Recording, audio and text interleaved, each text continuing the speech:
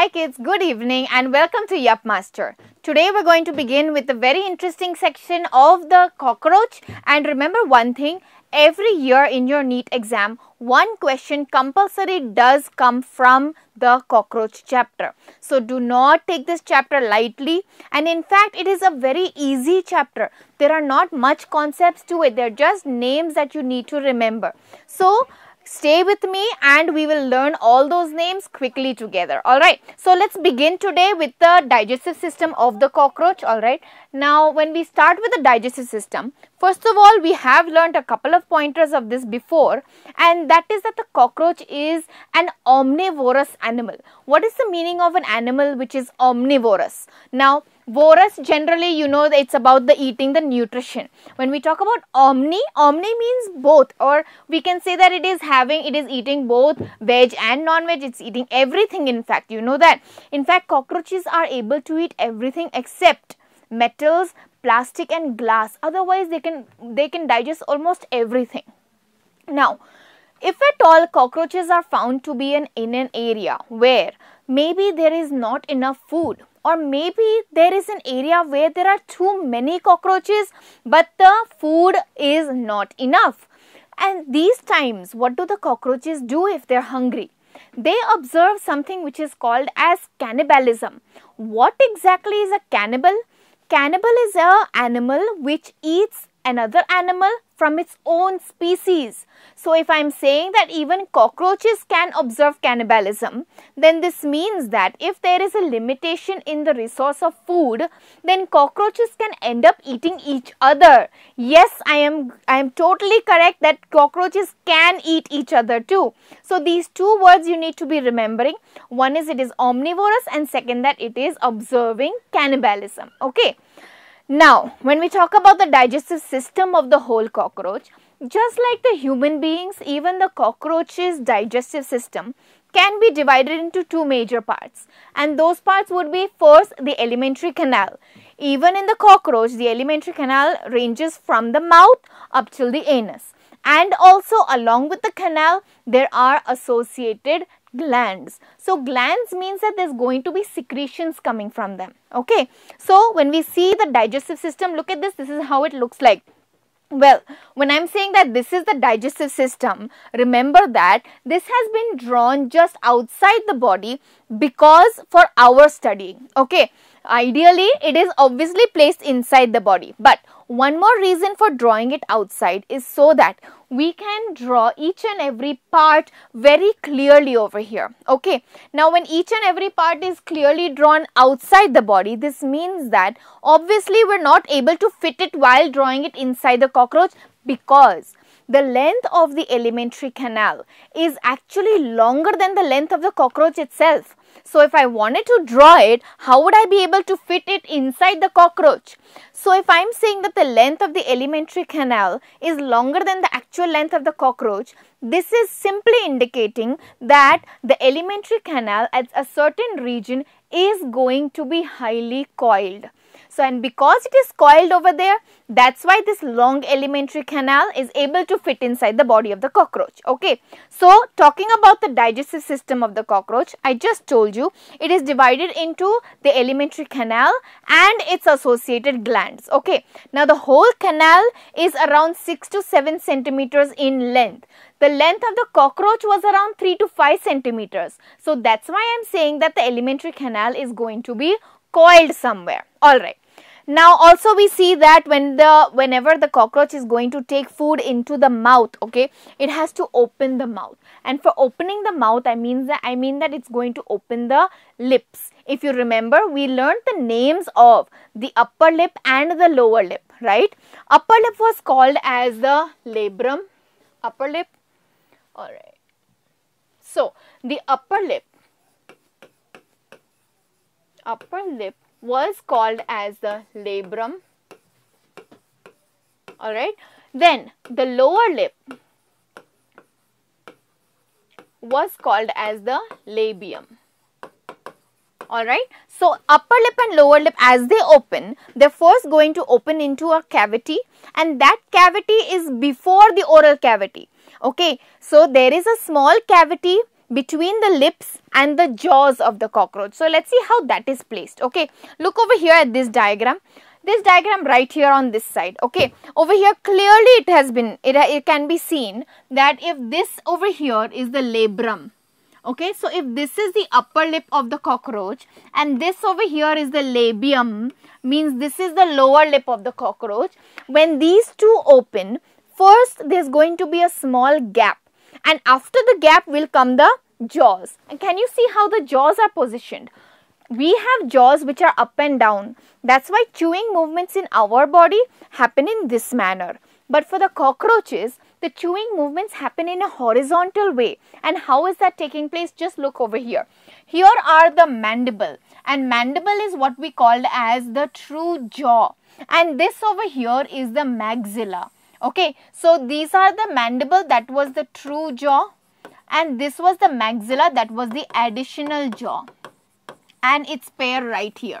Okay, so these mandible and maxilla are the actual jaws and if you see their placements, they are placed horizontally in such a way that when the cockroach wants to chew its food, it's going to be chewing in a horizontal direction like this. It's not going to be chewing like this, alright. So, as we see that there is going to be a gap because this is a two-dimensional diagram, we're not able to show you that but the upper lip and lower lip open when they open, they're going to open into a small space. That space is going to be called as the pre-oral cavity. Alright. After that space ends, behind that you would have the jaws. Which are the jaws? The mandible and the maxilla. And in between that would come out the tongue of the cockroach. And where is the tongue over here? Right over here. This here what you see, this is the tongue of the cockroach and it is called as the hypopharynx. Okay, the tongue of the cockroach is called as the hypopharynx. Now, why have I labeled this very specifically? Because the tongue of the cockroach is going to be dividing that cavity. Okay, which cavity? It's going to be dividing the pre-oral cavity, the cavity before the jaws. That cavity is divided into two regions. Okay, how? With the presence of the hypopharynx, means the tongue. So, can you see on top there is a part which is called as cibarium and below the hypopharynx there is another part which is called as the salivarium. So, this means that the preoral cavity, the gap between the lips and the jaws, that part is separated into two regions. Which are those two regions? First is the anterior part, the part in front is going to be called as the cibarium. The part behind is going to be called as the salivarium. So, these are the two regions in the pre-oral cavity. So, if an MCQ comes, okay, important MCQ that what are the two divisions of the pre-oral cavity? They would be anteriorly the cibarium posteriorly the salivarium. Alright. So, shall we go ahead? Now, ahead we see again we come to this basic diagram. We're going to stick to this diagram because this is the diagram which is given in our NCERT textbook. Important for our NEET. Remember, whenever we are approaching any any system of any part of the body whether it is our human physiology or any animal's physiology strictly stick to the diagrams which are found in your NCERT textbook because many a times those diagrams are taken and a labeling would be done A, B, C, D and you're asked to label it. So, just as important as your theory part is from your textbook, equally important are your MCQs or are your diagram based MCQs. Okay, and all those are going to come strictly from the NCERT textbook. Alright, now talking about the alimentary canal, the whole alimentary canal, it's ranging from starting at the mouth all the way up till the anus.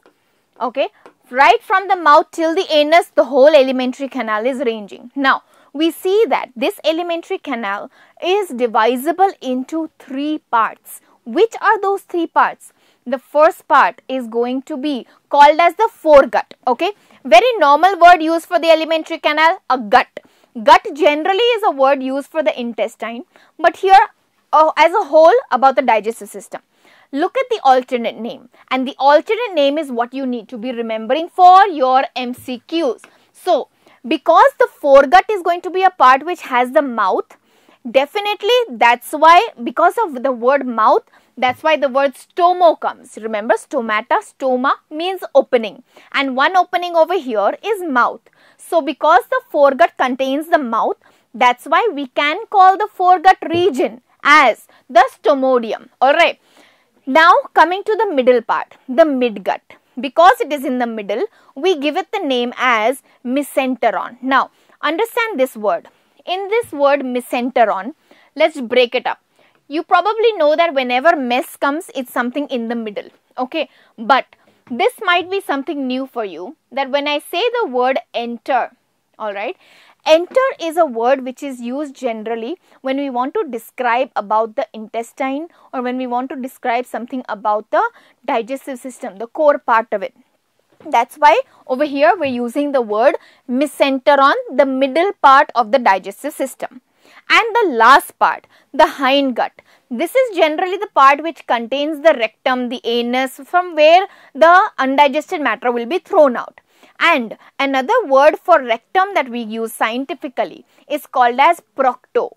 And that's why the hindgut can be called as a region which is called as the proctodeum. So here stomodeum, proctodeum, okay. But here stomo will mean mouth and procto would mean the rectum, alright. So you have the stomodeum, the mesenteron and the proctodeum. Hence onwards, we're not calling it as foregut, midgut, hindgut. We are going to remember these words as stomodeum, mesenteron and proctodeum. Alright, we're going to start these one by one. First, we'll begin with the stomodeum, the one which is ranging from here to this part of the digestive system and we'll do the labelings of them and the functions of each part. Alright, so are you with me? Shall we begin? So, let's start with the first part of the digestive system and uh, before we do that, just look at one point here that foregut and, and the hindgut, the first, the first one and the third one, foregut and hindgut. Let's see what they are actually internally lined with. When I'm saying lining, I mean the internal part, okay? Outer part would be called as the covering. Inner part will be called as the lining. So, the foregut and hindgut are lined by cells derived from the ectoderm. Okay, I'm talking about the germ layer. Foregut and hindgut are derived from cells of the ectoderm. Even in the human body, the whole alimentary canal is derived from endoderm. Only the top and the bottom means the mouth and the rectum the anus region that is derived from ectoderm because they are exterior openings so that is an easy way where you can remember that the uppermost part and the lowermost part are coming from ectoderm but the middle part the midgut or the mesenteron is the core part of the body. And the core part of the body is going to be made up of cells which are coming from the innermost germ layer and that is called as the endoderm. Okay? So this is very similar to that what we see in the human body where ecto the mouth and anus are made from ectoderm and the middle part of the whole alimentary canal is coming from the endoderm. Same here foregut and hindgut have ectodermal cells whereas the midgut, the middle part is having an endodermal cell. Alright. Okay, so we start with the beginning part and that is your foregut and we also call it as the stomodeum. Remember stomodeum, stomodeum because it contains the mouth. So, let us just first before we go into describing the different parts, we are going to initially see what are the constituents of this whole stomodeum. Okay, it's starting with the mouth region. You all know that the mouth contains all the parts of the upper lip, the lower lip, the jaws and the tongue which we just described. After the mouth, then would open into the the tongue would open and the tongue will open into a part which we can call as the pharynx okay and because the tongue is arising from the pharynx that's why we're calling it as the hypopharynx because it is below the pharynx okay after the pharynx region here on the sides would be opening the glands of the salivary glands containing saliva. That we will do when we study glands. But now, after pharynx, immediately we come to the next part which is called as the esophagus. Just like in our body, it is a food tube. Okay, esophagus. After the esophagus comes a very important organ used for storing and that organ is going to be called as the crop. And after crop, the last part of the foregut, last part of the stomodeum is going to be called as the gizzard. Gizzard has given another name and the gizzard can be called as the proventriculus. So again, most important thing you need to know, the digestive system of the cockroach is divided into two parts first, the alimentary canal and the digestive glands. The alimentary canal can be divided into three regions. First is called as the stomodeum, second is called as the mesenteron and third part is called as the proctodeum. Okay. Now, starting with the stomodeum, it starts with the mouth and the last marking of the stomodeum. This also comes as an MCQ. Okay, important part. What marks the end of the foregut? What marks the end of the stomodeum? It is the gizzard and remember gizzard can also be called as a name called as proventriculus. Now, let's come into the details of one part and the other. Mouth you all know, the upper lip, lower lip and all. Let's come to the pharynx region. When we talk about the pharynx region, exactly this is the part I'm, I'm talking about. Okay, so pharynx internally, it is lined by, look at this word now. The pharynx is internally lined by a chitinous cuticle. Okay, chitinous cuticle is lining the pharynx. Okay, the mouth is actually going to be opening into the pharynx and we see uh, as it is lined by the cuticle, that cuticle is going to help it uh, in so that it can prevent it from injury from any of the food substance that it is taking in. Okay. Next we come to the pharynx is going to open into the next part which is going to be called as the esophagus further downwards okay the the pharynx opens into the narrow tubular esophagus and the esophagus is ahead it's just a tube there is no actual digestion taking place there just like in humans but the esophagus opens into a very important organ here which is going to be called as the crop so this is the crop here and the esophagus is opening into the crop. The crop is a distensible organ just like how we have stomach. Similarly, distensible organ in the digestive system of a cockroach is called as the crop. So, remember this word given against crop, it is a distensible organ and even if you just look at the diagram, it's quite obviously seen how the crop is a distensible organ. Okay. Alright. Next when we come to the crop actually, it is serving to be since it is distensible it serves to be a reservoir of food okay? So this is the region where just like in our stomach how stomach's main function is to store food for around 4 to 5 hours. Even for the crop of the cockroach this is going to be behaving as an organ in order for storing food okay and we see that its outer surface is covered by a network of small tubules which we're to call as the tracheae now what is this tracheae? You will understand when we learn about the respiratory system. But just to tell you, these are the tubules which are used for providing oxygen to the different parts of the body of the cockroach. You know, there are small openings called as spiracles. We learned this in the external features. Spiracles will uh, eventually open into tubules called as those tracheae. And the tracheae are going to be covering the whole crop region. Alright. Okay, now ahead we see the next part after the crop would come a part, a very important apparatus which is there inside the cockroach digestive system and that is called as the gizzard.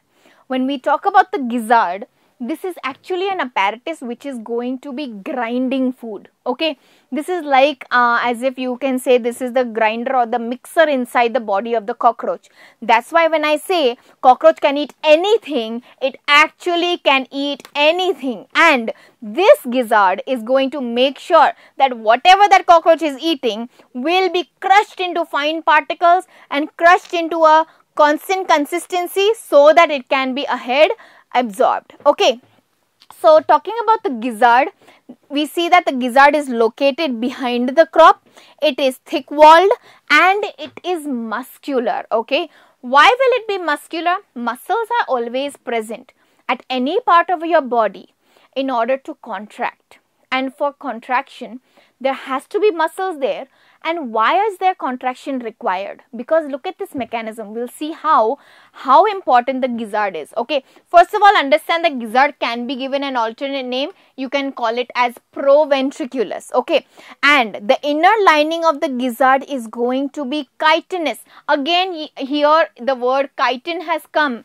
Chitin means that it is going to be hard right? Remember the exoskeleton is also made up of chitin what is chitin? Chitin is a polysaccharide. Okay, chitin is a polysaccharide or you can call that it is a carbohydrate. Alright, inner lining is chitinous and do you know that those chitins are going to give rise to multiple teeth like structures. Okay, so now how do we locate all this? Look at this apparatus. We are concentrating on this region of the digestive system. When you take a cut section of this region, this is basically how it's going to look like. Okay, remember those muscles I was talking about? I told you that muscles are going to be there for contraction. So on cut section over here, this is how the cut section is appearing like okay and these parts that you're seeing here these are the whole band of circular muscles which are present which are going to be used for contraction over there all right inner to these muscles, we see that there are teeth. Where are the teeth over here? Let's see that. Look at those there. These that you're seeing over here, these are the teeth present. Okay. Now, how many teeth are there? You can see that there is a circlet of six teeth. Okay. Six teeth are there along with bristles too. So, can you see how over here they're going to be bristles? I'll give you a better diagram and uh, we'll come to that diagram right here. Okay, so here is the diagram. I told you that there are six teeth present and along with the teeth, I also told you that there are bristles present too. Look at where they are. Okay, so first let's just see and let's just see where these teeth are. One, two, three, four, five, and there are six teeth. Now, those are the teeth. What function are they doing? Remember, it is hard I told you before also, if there's anything hard, whether it is external, whether it is internal. If it is a hard and it is in cockroach, definitely it is going to be made up of chitin. Then even these teeth over here are made up of chitin. Now along with these teeth, I told you that there are bristles. So where are those bristles? Look at these over here. Can you see all these lines over here? These are the bristles which are associated with the teeth. Now, definitely if there are bristles present there, there must be some function for it, right? Let's see what that's all about. So, we see that it has six powerful teeth, okay, for that, for forming the grinding apparatus and there are bristles which are going to be directed in a backward direction okay so backwardly directed bristles are there and what do these bristles do they are going to be doing the work of filtering the food and why do you want to filter the food? So that whatever food is going ahead downwards, whatever food is going downwards remains to be of a uniform consistency. That is the very reason why these bristles are there. Okay, just like how you have filtering mechanisms, just for those filtering mechanisms, just like that you have bristles here. So that whatever food substance will cross the gizzard and go further down in the digestive system will all be of a uniform consistency. Okay. So we see here that the gizzard is working not only like a grinding apparatus but is also doing the work of straining. So it works as a grinding mill and it's working also like a sieve. That's why we can many a times and in many many of your MCQs okay MCQs for your NEET could come as the gizzard is working as a grinding a grinding okay. And straining grinding and straining apparatus. All right. So now tell me uh, how many of you remember what were exactly the three parts of the digestive system of the cockroach? How many of you remember that? There was a foregut there was a midgut and there was a hindgut. Now i want you to write in the chat box right now what was the name of the midgut? Let me see how many of you get this right. What was the name of the midgut? Remember midgut, okay? That's, that's the name I want right now. Alright, now let's continue ahead. When we talk about the gizzard, at the end of the gizzard, there is a valve, okay? Why is it called as a stomodeal valve? Because the gizzard is marking the end of the foregut and at the end of the foregut the stomodeal means to foregut means the stomodeum.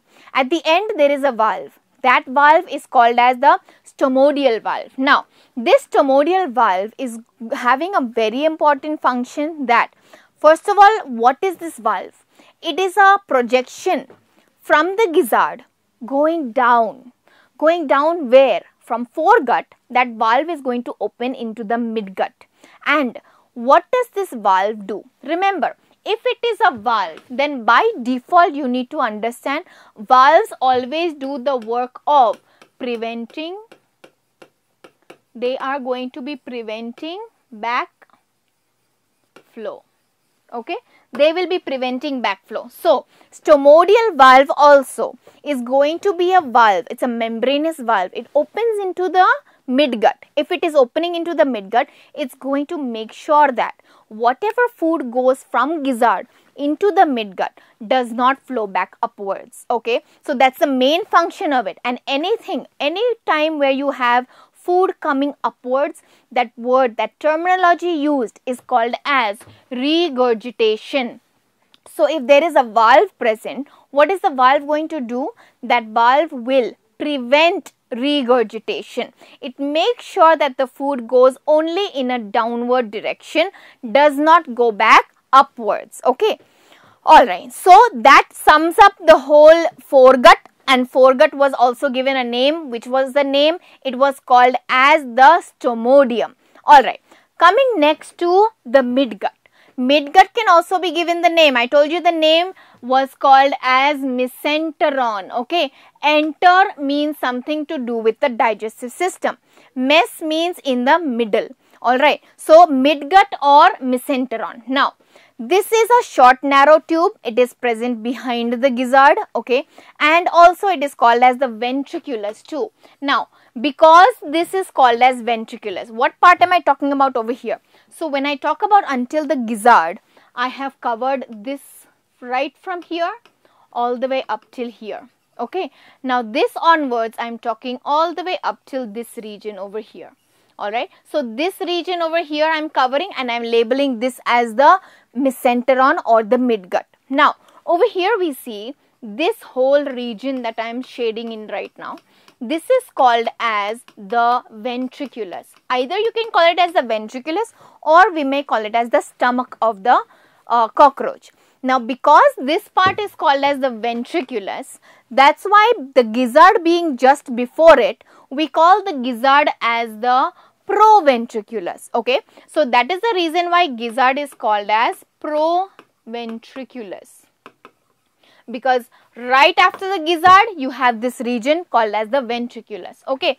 Now, just before that, just before the ventriculus opens and the gizzard ends, can you see these tubules over here? Okay, so let's just, we color in these tubules, let's cover it in a blue color.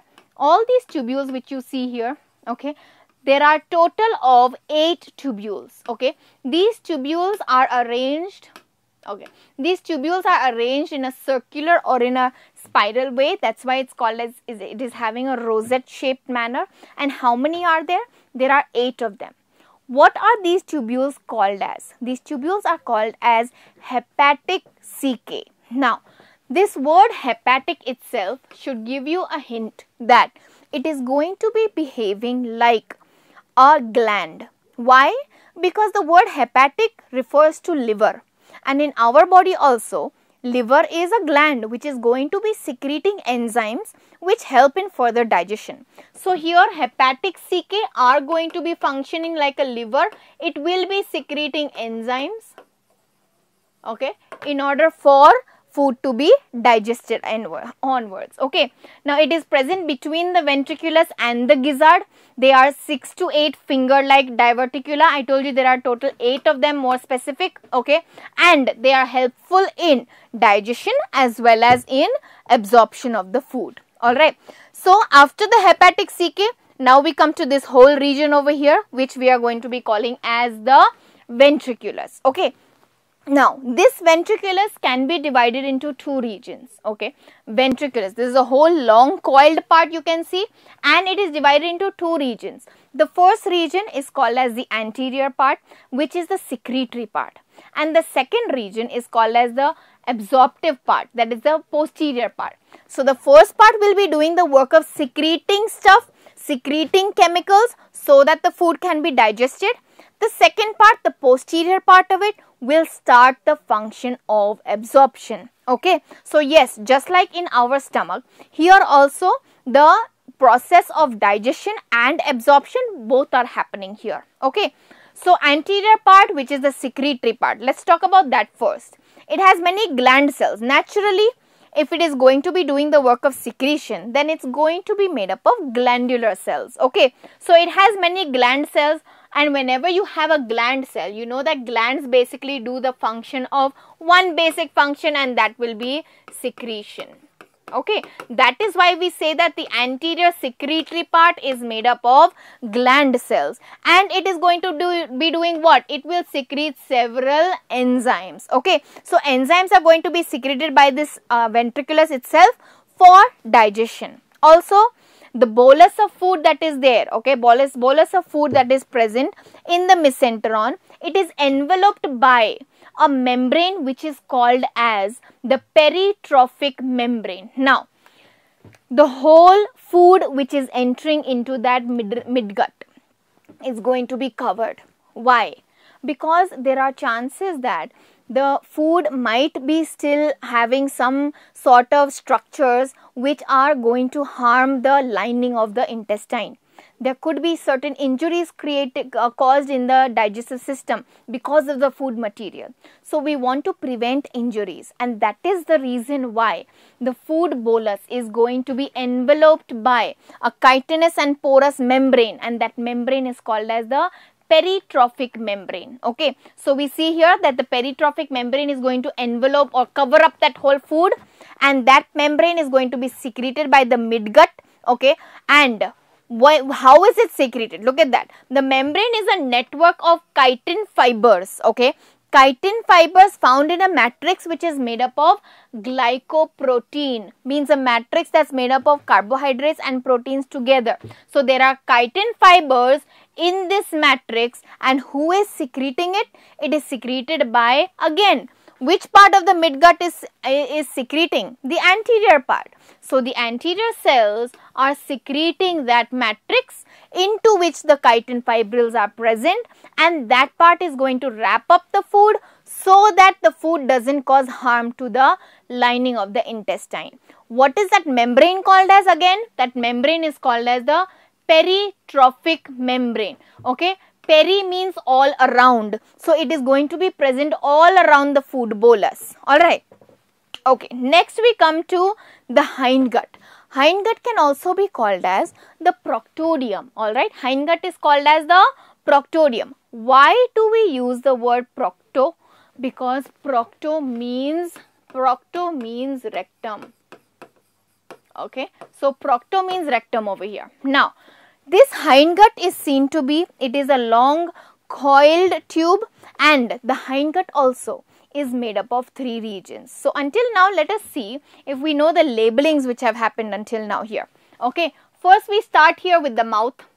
Okay, after the mouth this part here, this is the pharynx. Okay, this is the pharynx. After the pharynx this part here comes the esophagus. Alright okay that's the esophagus. This part here is the crop. After the crop comes this part here that we call as the gizzard. Okay.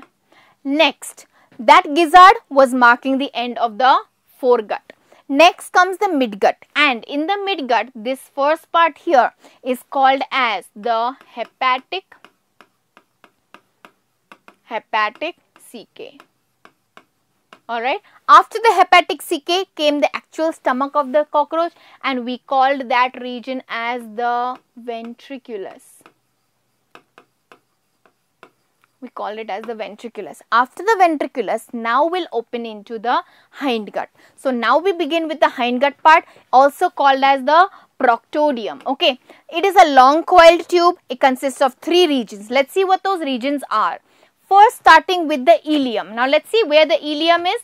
Right over here, this part that you're seeing here, this is called as the ileum. Now, ileum is spelled with an E. Remember this over here. I-L-E-U-M, ileum. Next part is called as the colon. If you know, the colon is a similar word used for even for our part and it was the part where behaving as a large intestine. So basically anything and everything passed into here would actually be substances which have not been absorbed.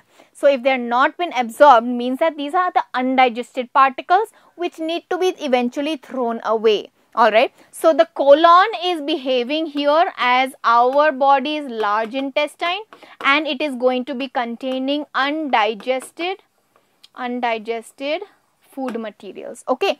And after the colon the last part here that would be the rectum. And the rectum is the part where the undigested food material would be stored. After that the food material would come out through a last part which is going to be called as the anus okay now internally this whole hindgut is also going to be lined and it is going to be lined with a chitinous cuticle all right? So internally the hindgut is lined with a again chitin is present there a chitinous cuticle. This all is there internally present. Internally linings are present to prevent the digestive system from any damages which the food might have okay? All right so the first part of the hindgut let's begin with the ileum okay? It is a very short tube and it is present behind the mesenteron now look at this part here. There are six bundles okay? How many bundles? There are six bundles of fine thread like yellow tubules and they are blind tubules. Now what is the meaning of blind? Do not tell me that blind means cannot see when I'm talking about zoology and if I say the word blind, blind means that it is going to be closed at one end. Okay, so we see that we're talking about this region right here the thread like structures. Okay? There are six bundles of them. And if you actually count them there are 150 of them. Okay? 150 what? They are 150 tubules. They are doing the work of excretion okay if they're doing the work of excretion that's why i'm giving it the name as malphigian tubules. Because if you know malphigian is a common word which we're going to be using whenever you want to link something with the excretory system. Now if it's doing the work of excretion then naturally it is going to be throwing out some excretory product. And what are the excretory products that animals can throw out? Which are they? Do you remember them? They could be either ammonia, okay, or it could be urea, or it could be uric acid. Okay, now which of these three? These are all waste which are called as nitrogenous waste. Okay, now which of these three is the cockroach going to throw out? Cockroach will be eliminating out the nitrogenous waste in the form of uric acid. And because it eliminates it out, out in the form of uric acid that is why cockroaches mode of excretion is called as they can be called as to be ureotelic. Let me write it here. They're called as uric sorry they're called as uricotelic. All right so because they are excreting out uric acid you may call them as urico. They are called as uricotelic animals. Okay. These are the animals which are going to excrete out uric acid. Alright. Now, what is the ileum going to do? Remember we're talking about ileum. Okay. Ileum has two functions. Major thing to collect. Now collect what and from where? First ileum, look at the positioning of the ileum. Okay, it's positioned right here. So basically ileum is going to be, there are two things which will be draining into the ileum. First, the nitrogenous waste coming from these Malphigian tubules. And second, the undigested food, the, the food coming from the ventriculus. That's why over here we can say, right here, we can say here, ileum is going to be collecting one, collecting uric acid from the Malphigian tubules and two, collecting the undigested food from the mesenteron. So these are the two things that ileum is going to be collecting. One is the uric acid, second is the undigested food materials. Alright. Then as the ileum has collected all that, all that undigested waste materials and the nitrogenous waste, the uric acid will be passed on to the next part and the next part is this part right here which we are going to be calling as the colon region. So, the colon region if I am saying, I just told you a little while back that the colon is behaving as the large, large intestine.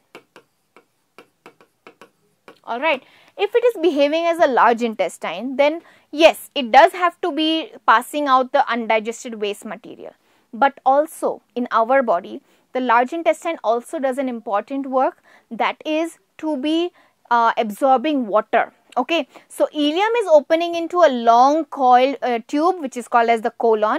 The colon is going to be leading into the rectum and the rectum will open into the anus. Okay, now talking about the rectum here ahead rectum is going to be having folds. How many folds? Six folds. And those folds, remember this part here, those folds are going to be called as rectal papillae. Okay. There are folds inside the rectum. Those folds are going to be called as rectal papillae. Now, what is papillae? Papillae generally means any projection which is there, okay. So, in a smooth surface, if you have a projection, you would call it as a papillae. So, here inside the rectum also, there are rectal papillae present, okay. What are these papillae going to do? These are going to be doing the function of reabsorption of water, okay. So, whatever water is present, extra water, I told you that that's, that's the work of the large intestine and the rectum to do that rectum because of the papillae which will increase the surface area that will do the work of reabsorption of water to make sure that unnecessary water is not lost from the body okay and that too this is a basic reason because the cockroach does not want to lose excess of water that's why out of those three ammonia urea and uric acid that is why the cockroach chooses to excrete out uric acid because in order to excrete out uric acid, very minimal quantity of water is required. That's why you'll never see the cockroach passing urine, do you? No, because that much water is not thrown away only for be for passing out that uric acid. All right. Okay, so uh, mainly the rectum contains the rectal papillae and the rectal papillae is going to do the work of reabsorption of water from that undigested food. Okay. Alright, so now we're done with the rectum. Obviously, whatever undigested food is remaining behind would be passed out through the anus. Okay, so right from the mouth all the way up till the anus, we learnt about those three digestive system parts. They are the stomodeum, the mesenteron and the proctodeum. Okay, next we come to the digestive glands of the cockroach. So, after the alimentary canal, we next are going ahead to the digestive glands. Now, there are basically three digestive glands in the cockroach digestive system. First being the salivary glands, second being the hepatic caecae and third being the glandular cells of the mesenteron. Now, when we talk about the hepatic caecae and the glandular cells of the mesenteron, these are going to be secreting enzymes and those enzymes basically are going to be responsible for breaking down food materials like how you've got in our body we have um, enzymes like proteases, lipases and uh, amylases, sucrases all of that for breaking down the food material. Which are those enzymes? We'll see in a while. But remember, three digestive glands, salivary glands, hepatic caecae and the cells which are inside the midgut or inside the mesenteron. Okay. Now, first and foremost, if we start with the salivary glands. Okay. Talking about the salivary glands, let's look at the structure here. Basically, I'd like you to view this as three structures here and three structures here. Which are those structures? These are lobes, one and two lobes all right. And this is one big structure here. It's called as the reservoir. So three structures over here three structures over here. All right. I hope that's clear. Now let's just concentrate on one part here. This part here this whole thing over here is called as a glandular lobe. Okay. How many glandular lobes are there? There are two of them. This is the first one i told you and this is the second one. So there are two glandular lobes here. The lobe is made up of several small small small lobules the glandular lobes are made up of several small lobules okay those lobules are given a name and they are called as acini all right what are they going to do? This is the basic region where saliva is going to be secreted. So basically all these small regions that you're seeing here are the regions from which saliva is going to be secreted. Where is that saliva secreted? That saliva is going to go inside this tube. Can you see these tubes here? It's going inside the tube and then let me use a blue color since I'm talking about saliva. So from here the saliva will enter and it will go upwards in this direction and enter into this over here. And this tube that you see there is what we are going to be calling as the gland duct. Because it is a duct arising from these glands okay which glands? The lobes. It's called as the gland duct. One from this side and one from this side too. Now these two gland ducts from both the ends are going to come together and they are meeting together. If they are meeting together, can I call it as a common duct? So, wherever we have a head here, this part here is going to be called as the common duct of glands. Okay, I hope that's clear. You have the common duct of glands. Now, a head we see as saliva is traveling upwards in this common duct of glands, afterwards we see that the saliva is going to go and pass into this tube which is behind it. Do you see this whole big tube over here? So, saliva is then going to go into that region and go downwards, okay? So, now the saliva is going in a downward direction. This is the tube or this is that duct which is going to be leading and is going to be making the saliva go into this region here where the saliva can be stored. And because the saliva can be stored over here, this part is going to be called as the reservoir. Okay, why reservoir? Because over there the saliva will be stored. Either reservoir or it can be called as receptacle. We will remember it as reservoir. So here there is a reservoir, here there is a reservoir. So whatever is the duct which is leading to the reservoir may I call that as the duct of reservoir. So this right here is going to be called as the duct of the reservoir. Okay. Now since the whole labelings are done and now saliva has been secreted, it has been traveling and now the saliva is finally stored inside the reservoir. Now what? Did, did the saliva, was the saliva made just for the reservoir to store it? No, Saliva was made so that when the cockroach will be eating food, saliva can go on it and act upon it, right? So now how to get that saliva out? As the cockroach will put food into the mouth and start chewing, as the food enters into the cockroach's mouth, the reservoir will start to contract. And when the reservoir contracts, saliva will be pushed out in the opposite direction. So let me use another color for that. Saliva will be pushed out in the opposite direction, flow back in the opposite direction, go upwards and open right over here. And what is this my children? This is going to be the region of the hypopharynx. What is the hypopharynx? Hypopharynx is the tongue and the tongue is where the food would be. And that is why the saliva is going to open right that very region so that the tongue itself can start mixing the food at that region right when chewing is happening. Okay? So i hope the whole uh, structure of the salivary gland is clear over here. If you'd like to just take a screenshot of this. All right take a screenshot of the salivary glands and their labels Alright, remember the names lobules which are secreting can be called as acini. Remember one thing that the lobules that the saliva that they are secreting contains an enzyme which is this which is present even in the our saliva. And that enzyme there also it is called as amylase. Okay. Amylase is an enzyme which is going to be uh, digesting helping helping in the digestion of starch. All right. Now let's come to the different parts. Let's see if you remember it. Beginning with what part is this? This is the mouth. After the mouth would come the pharynx. Then would come the esophagus followed by the crop. Crop results into the uh, opening of the gizzard and then remember these two. This one tubule here, another tubule here. This one here was behaving as the liver and we called it as the hepatic caeca. Then between there, this part over here was called as the stomach or we can call it as the ventriculus.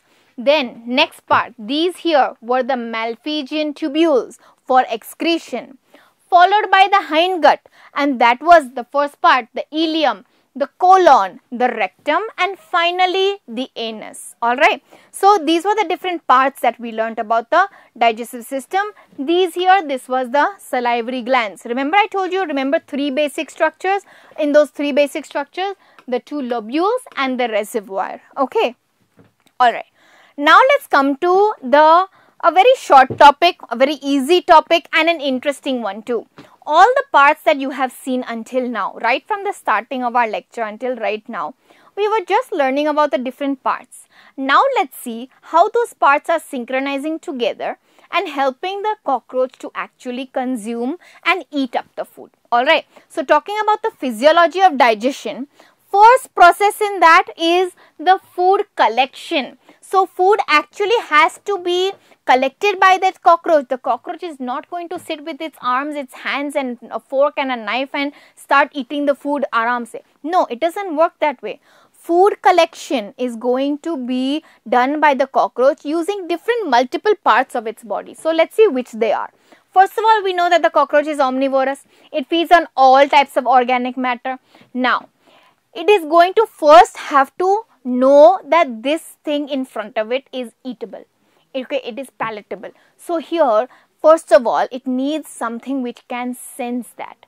And it has olfactory sensillae where remember the sense of smell? Sense of smell was done in the cockroach with the help of its antennae. So the antenna of the cockroach is behaving just like its nose and that is the function of olfaction. So antennae helps in locating the food, also, for holding on to the food, it has these palps. What are the palps? These extensions that you're seeing here, these extensions are called as palps and those are called as the labial palps. Why labial? Labial was another word for labrum. Okay, what was labrum and labium? That was all the upper lip, the lower lip. So, there are labial palps. Okay, that is the uh, labrum and the labium the one with the palp is the labium actually and also maxillary palp. What is the maxilla? The additional jaws. So all of these extensions that you're seeing, one extension here of the labial palp, another extension here of the maxillary palp. They will help the cockroach to hold on to the food. Okay, here it is once again you can see that this is the labial palp very clearly and this is the maxillary palp. Okay, they help in holding on to the food, catching the food. Then food is going to be seized with all that labrum, labium and the forelegs too. Okay, labrum and labium are going to main function upper lip and lower lip. They prevent the falling down of food. They, they make sure that food doesn't fall down. Because many times you know if the cockroach is eating and suddenly you show up there, the cockroach has to run. Does it want to throw away all its food and run? No, it will rather hold on to some of it. How will it hold on to it? Remember, it has a preoral cavity. Who's going to make sure it doesn't fall? The upper lip and the lower lip will make sure that the food doesn't fall when the cockroach is running. So, it has some food while running. Okay. So, the food there is going to be mixed with saliva while it is chewing. Okay. Now, after the food is captured, next process would be the digestion process. So after swallowing, the food is going to be passing through the pharynx, passing through the esophagus and finally it will reach the level of the crop. Now, understand one thing. The crop is just a region where there's going to be storage of food and this is not a region where enzymes will be digested. So enzymes are not digested here. Okay. What then how does digestion take place in the crop? Well, let's see here. In the crop, it is mixed with digestive juices. Where are these juices coming from? Juices would mean that there are enzymes there, right? But where are those enzymes coming from? I told you right now, crop does not secrete enzymes. So where are those enzymes coming from? They are coming from the midgut upwards. Okay, so these are enzymes which are going to be regurgitated. What was the meaning of the word regurgitation? Regurgitation meant upward, a backward flow.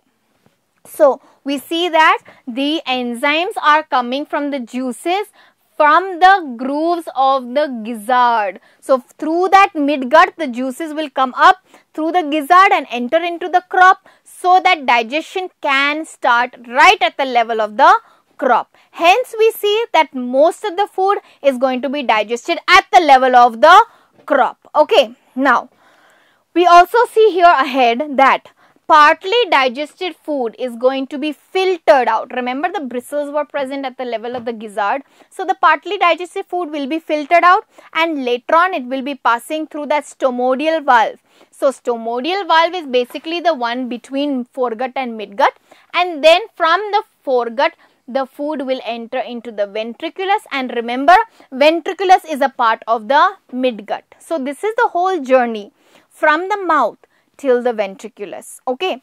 Now, as uh, as we reach that the food has entered into the ventriculus, that's basically where all the digestion will take place.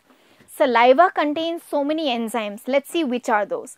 First, there is amylase, which contain which converts starch to disaccharides. Now, I'd like you to know these enzymes which I've written, I'm going to enlist here, are going to be the exact same enzymes which are present in our body too which means that they are going to be breaking down the exact same things.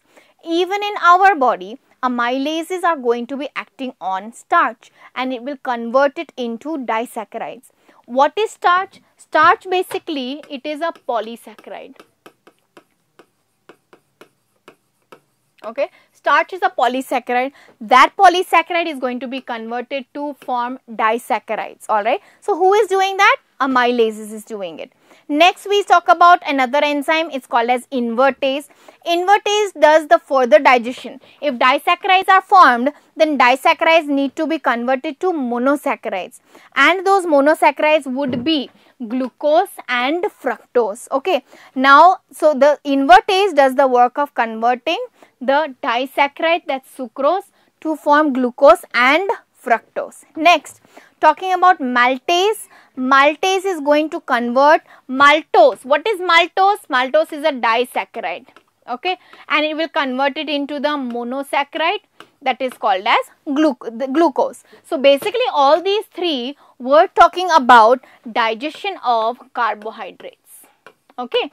Next, lipases means digestion of fats. And when fats are digested means that the lipids are going to break down into one fatty acids and 2 glycerol. These are the monomers, individual units of the polymer of lipid. Next, proteases means this is going to be helping in breaking down of proteins alright so it's breaking down protein to form the simplest form of protein that would be amino acids and last here in the body of the cockroach cellulose is also digested remember in our body cellulose is not digested but here Cellulose is digested by an enzyme called as cellulase. Who is secreting that enzyme? That's being secreted by microorganisms which are residing inside the hindgut of the cockroach. So, in the hindgut of the cockroach, there are microorganisms present which is going to help in digestion of the cellulose. And cellulose is converted basically into glucose because cellulose also is a polysaccharide. All right okay so now we also see ahead in the ventriculus we see that the digested food will be absorbed and the undigested food is passed to the hindgut. Ventriculus means we're talking about the midgut. Okay midgut. And then finally everything will be digested and absorbed. Whatever is not absorbed will be the undigested food passed to the hindgut hindgut all right and in the ventriculus the digestive food is absorbed. And finally what happens is the remaining material is going to be thrown out as dry pellets okay through the anus. So now when we say that these dry pellets are there the dry pellets contain two things okay remember this. The dry pellets are containing first undigested food undigested food and also don't forget it also is containing uric acid water content is going to be very less. And because water content is very less that's why it is eliminated in the form of pellets. So these are called as the dry pellets. Alright so kids this marks the end of the digestive system of the cockroach. I hope this was an interesting lecture and i hope this is gonna be useful for you. If you liked my video please go ahead and like this okay go ahead and give me a like and do share my channel and i hope you have done until now. I hope you've subscribed to it too. So until our next lecture day after tomorrow which will learning a new new system of the cockroach stay home stay safe and take care. Bye bye